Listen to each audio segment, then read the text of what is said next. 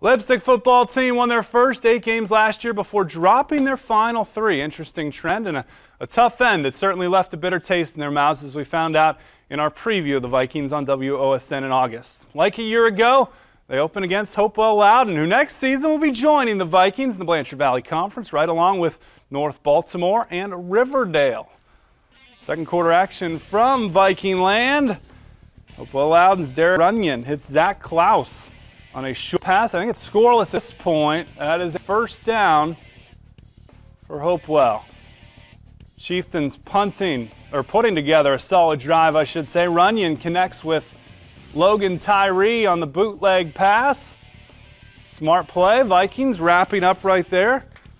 Now it's time for Cody Malone taking the handoff. He's met at the line of scrimmage by Paul Gerdeman and Kyle Berger, that Purple People Eater defense eating them up. Chieftains go for it on fourth and two, and it pays off as they get the first down.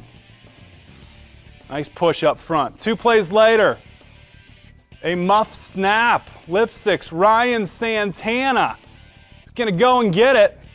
Look at him flying through. Vikings recover. How about Mr. Coolman? Zach Coolman, the seasoned veteran, started as a sophomore, and the quarterback looking for Jordan Chamberlain.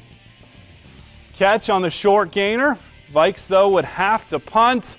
Six to nothing, Hopewell Loudon at the half. How about Leipsic's offense in the second half? Look at this final score. The Vikings put up 33 points after the halftime break, and they take it at home. Big BVC, well, not BVC points, but playoff points.